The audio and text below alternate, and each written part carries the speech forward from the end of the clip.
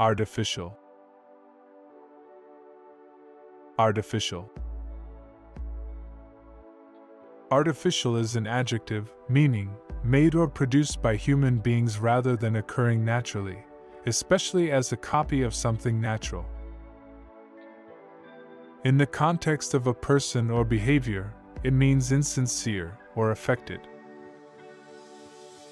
Artificial. Artificial. An example of its use is her smile was as artificial as her jewelry. Artificial. Artificial. Artificial.